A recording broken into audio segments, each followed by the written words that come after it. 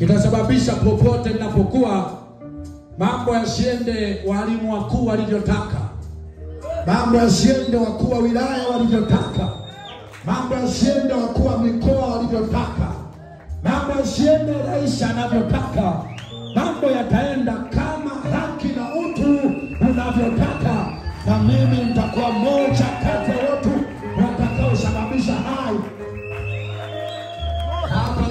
kabisa niko hewani, nataka na mtu yoyote afahamu ya kwamba mimi ni moja kati ya mtu ambaye nitachangia kuhakikisha mambo yanakwenda yanavyotakiwa. Hakuna suala la kwamba wewe ni mtawala, ukiendesha mambo kwa utaratibu wa utu na haki, tutakunga mkono na tutakwambia tuko pamoja nao.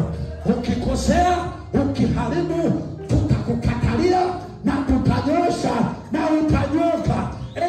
uwezo wa maneno utakayotamka ama kwa dalili za Roho na za nguvu utakayotenda kazi ndani yetu. Haleluya!